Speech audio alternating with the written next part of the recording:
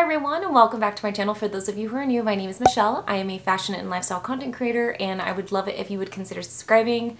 And I know what you're thinking. Michelle, why are you wearing a sweater? It's July. Well, I live with my boyfriend who likes it to be absolutely freezing in here. So the AC is blasting. I'm grateful for AC. I shouldn't be complaining. But also unnecessarily cold. For today's video, I wanted to share with you guys my newest bag purchase. It is this one here. If you spend any time looking at fashion related content on Instagram or if you love shopping, I'm sure at some point you've come across a bag that looks similar to this. It's a really trendy, popular piece, especially within the last couple months. I know that Louis Vuitton and Prada designer brands have this style of bag. So I feel like a lot of more affordable brands have been replicating this style. This particular one I got off of Amazon and I posted it on my Instagram stories and one of my friends mentioned that she loved the style bag, that it came with all these different compartments and she wanted to know if maybe I could share a video on all the different ways that you can kind of break up this bag and wear it.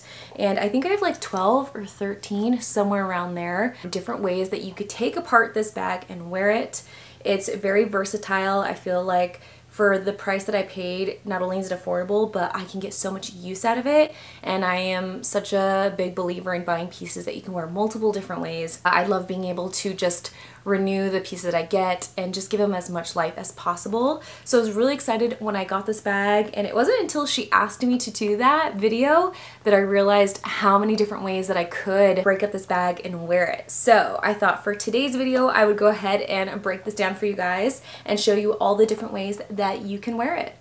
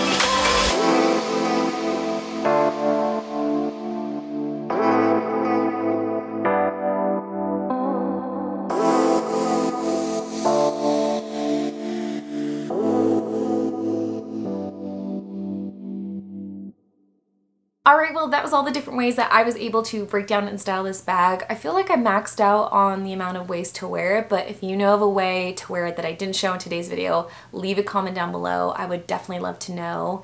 If you guys liked this bag, go ahead and check the description down below. I made sure to link it for you guys. Thank you so much for watching today's video. Again, I would really love it if you would consider subscribing, and I'll see you guys next time.